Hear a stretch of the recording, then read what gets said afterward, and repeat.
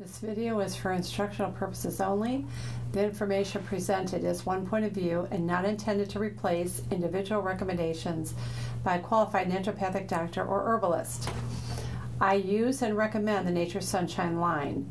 Um, the views expressed, however, do not necessarily represent the views of Nature Sunshine. I'm Dr. Jane Semple from Ohio, and I'm here to talk to you about blood pressure. Um, the question with blood pressure is how high really is high. According to the current medical diagnosis and treatment, now that is the book that they are using in medical schools called their Bible. Um, 120 over 80 is optimal, 130 over 85 is normal, and 140 over 90 is high normal, but not an indication for drug treatment. Studies show that persons with naturally high blood pressure have slightly higher cardiovascular events than those with naturally low. However, studies do not show that reducing blood pressure artificially with drugs actually reduces cardiovascular events.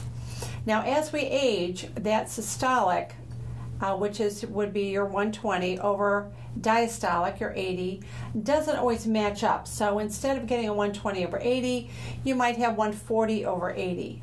Uh, again, as we age, that is quite normal. Some people have um, what's called white coat syndrome.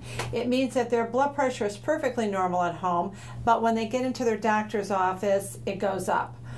If that is what you want to do is be proactive, keep track of your blood pressure at home, purchase a blood pressure machine. They are not expensive. If your blood pressure is only high when you're at your doctor, and your doctor still insists that you um, take blood pressure medication, then switch physicians because that is more ego than concern for you. Uh, and it is very interesting that the side effect of blood pressure drugs are very similar to the damage that's expected from high blood pressure itself. So, the things that you can do first of all, diet. I recommend Dr. D'Adamo's blood type diet. Um, his books can be picked up online or really in any, um, usually health food stores or any bookstores. Uh, blood type O's tend to do better with a lot of vegetables, with some uh, dark meats like beef and, and lamb.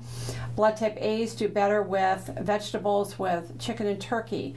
And I find people that are not adhering to their blood type diet tend to um, have their blood pressure and their cholesterol raised.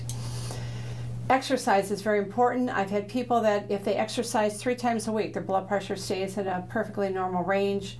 I highly recommend it. Make sure you're drinking enough water, six to eight glasses of water a day. Uh, drinking water instead of soda pops. Um, then we want to look to things like minerals. Um, we want to look at um, calcium to magnesium.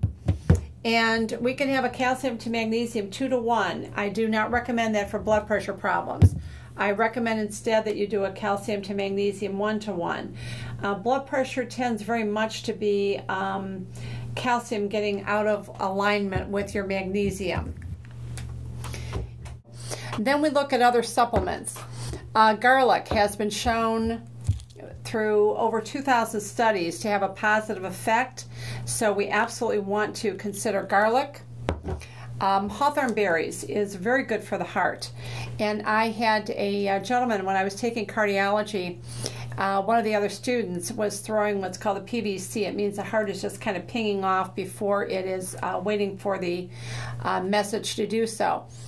And so I asked him if I brought him something in, if he'd be willing to take it. And he kind of laughed and said, Boy, you have something for everything.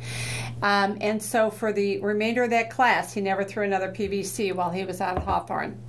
Um, capsicum is a very hot red pepper. Capsicum has a very, very long history of use in uh, cardiovascular. It really does get the blood moving. And you can also consider taking a combination supplement um, if you would prefer to take just just one instead of uh, taking two. Capsicum extract. This is something that I recommend that every person who has cardiovascular disease in their family carry with them.